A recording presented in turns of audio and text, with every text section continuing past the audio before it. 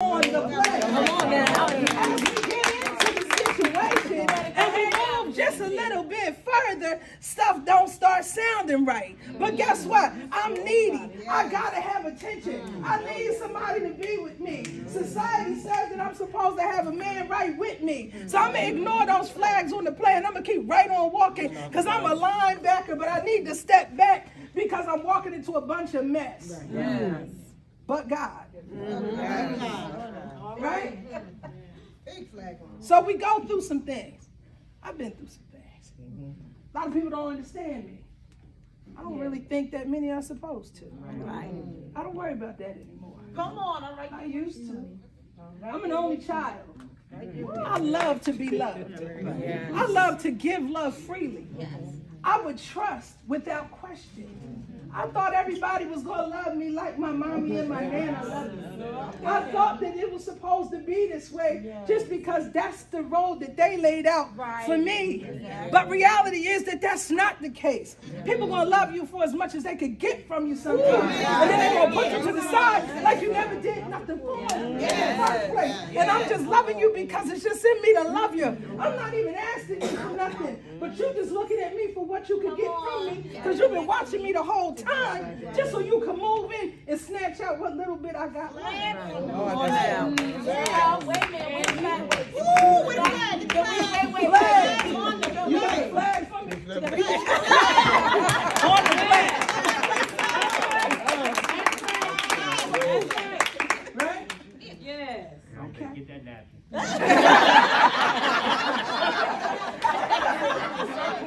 So, so we move on, right?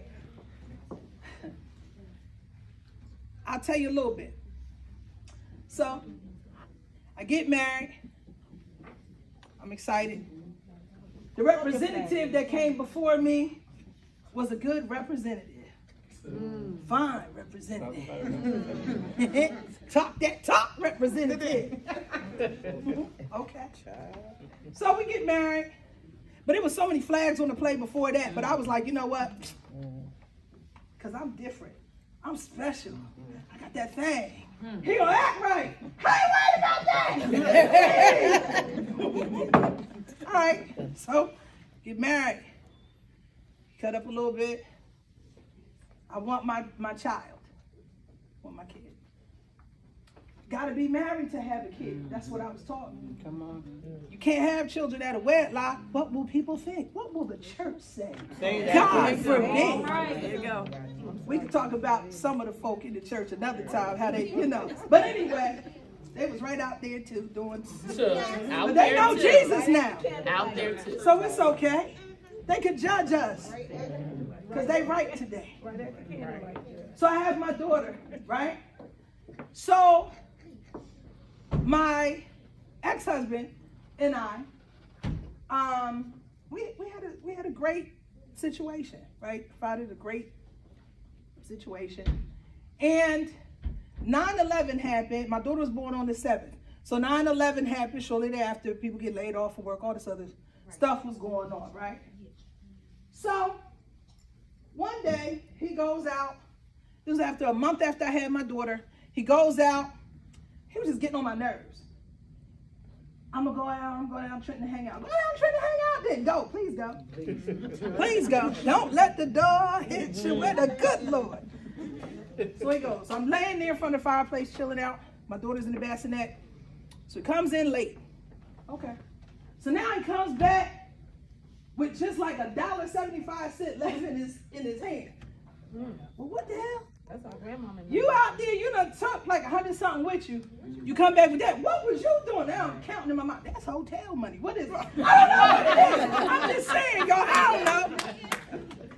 So I said, Dag, that's all you came back with. Now, mind you, 9-11, so you was laid off. I'm carrying the load. I just had the baby. We, I'm on disability. we trying to figure it out. All right. So I turned and I walked down the hall. Next thing I know, bam. Now I watched Lifetime, but I really wasn't trying to be in the series. I love that. Come on. So there I was. Lights, camera, action. Mm-hmm. There I was. Mm-hmm. tore me up, up and down the hall, kicked me in my back, kicked me in my side. A month after I had a cesarean section. Oh my God. Yeah. I got up and I went to go into the kitchen to grab the phone, rips the phone off the wall, slaps me into the stove, Mm. drug me back down the hall. Some other things happened. But here's what I remember. This is what you're gonna get every time you talk back. Right. Like, come on. Right. Wow. Well, I got a big mouth. I talk back. I got to go. I got to go. Yeah. Yeah. In the midst of this, my daughter begins crying in the bassinet. I said, the baby is crying, and he said she could wait till I'm done. Right? So, we're no longer together.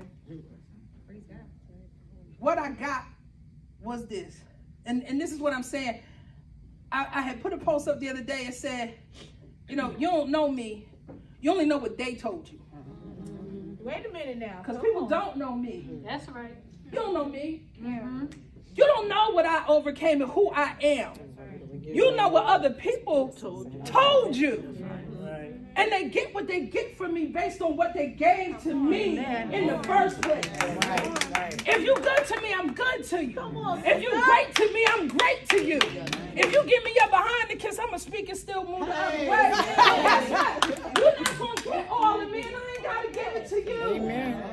It's okay to love me. It's okay to know who I am. It's okay to walk in authority. It's okay to understand and know that God is with me every single step of the way. See, I forgot that part of it in the midst of it. I forgot that part because I was so caught up in everything else and I just wanted what I wanted. And when God was telling me, daughter, I'm telling you, this ain't the way to go. I'm telling you, daughter, please. But I'm so thankful to God today that He, you know what? He may have he may have struck me down. He may have tried to silence me, the man I'm talking about. But God didn't let him kill me. Come on. And as I heard my daughter cry in the bassinet, and he said she could wait till I'm done. I said to, to my daughter, as we as we went on about our way, right, and there'd be times we'd be alone, and I just thank God, and I and I whisper in her ear, "You saved our lives." Mm. Yes. Because, because, maybe I would have stayed mm-hmm. if she wasn't there. Mm-hmm. Yeah. Mm-hmm. Maybe I would have tolerated it. Come on. Come on. Maybe I would have covered it up. Yeah. Maybe I would have just kept going and tried to dismiss it. Many have. But her cry and his Mm. answer, Come on. I like it. on. it Cry couldn't happen to her. Right. And it shouldn't have happened to me. Right. And I'm her mother. And it's up to me to make sure. And so if I could say anything else to the women here today, love yourself enough. Love yourself enough to know that you deserve better. You ain't gotta be in no mess. When the flags start flying on the play, go ahead on and step out the way. You ain't supposed to be here. And guess what? Sometimes you gotta be by yourself. And that's okay to be alone. I've been alone. That, look, seven years, I'm good. Seven is my favorite number.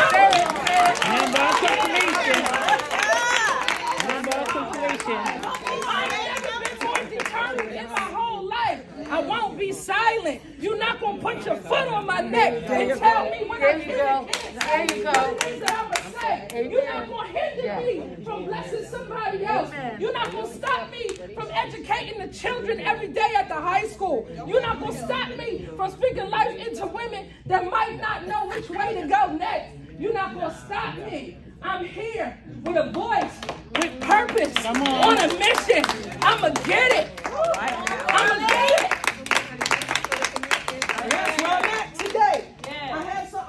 And every one of you. It's a little packet. Inside of it, it's got a, a tea bag, mm-hmm. right? Mm-hmm. Because I want you to remember sometimes you got to prepare yourself before you go ahead and deliver your message.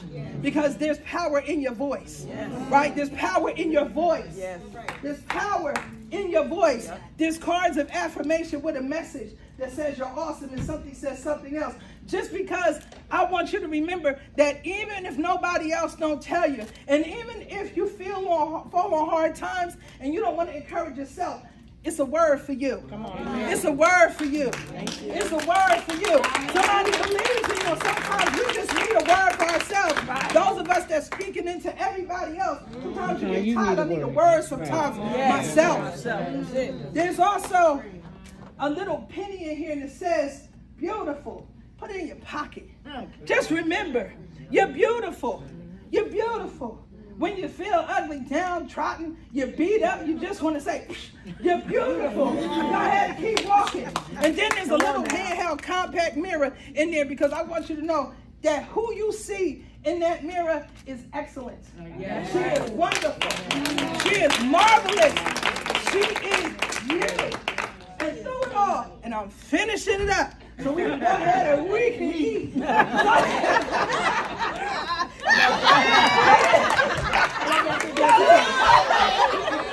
So we can go ahead. We can eat.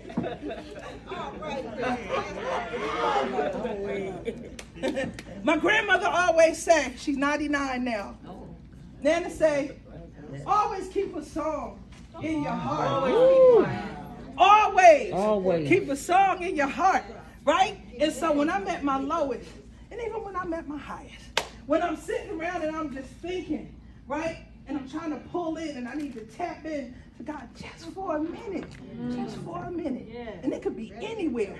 I was praying over there before I come up here to speak because I always look to God first. Give it to me. What you got for me? Come on and let's work. Come on, let's work. I never had it like that before. For a long time, I would ignore him. He said, I'm going to get your attention. I said, you got to catch me first, Jesus. he caught me. He caught me. And I'm good with it. You always keep a song in your heart, no matter what. Because every day ain't going to be easy. They ain't gonna be Every day ain't going to be easy. And sometimes you're going to want to quit. And sometimes you want to say, listen, I just, just leave me alone. But mm-hmm. it ain't gonna happen like that. And mm. when the flags come, like I said, don't ignore them. Mm. Don't ignore them. Acknowledge them and do what you need to do because you're the most important person ever. Ever. Right? So we're gonna close out. There is none like you. No one else can touch my heart like you do. And I can search through all eternity, Lord,